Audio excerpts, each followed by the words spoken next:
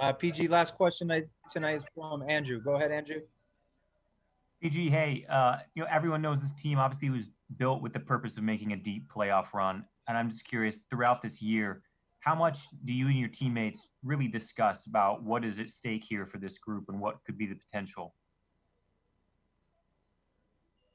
Say that again? How much do you and your teammates throughout the year, how much have you guys talked about what's at stake in the playoffs and the opportunity you have? I mean, we know what's at stake.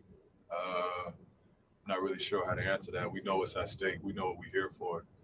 Um, we're a team that's here and have the, the opportunity to win it. We're a team that's focusing on getting deep into the playoffs. Um, that's the only thing we talk about.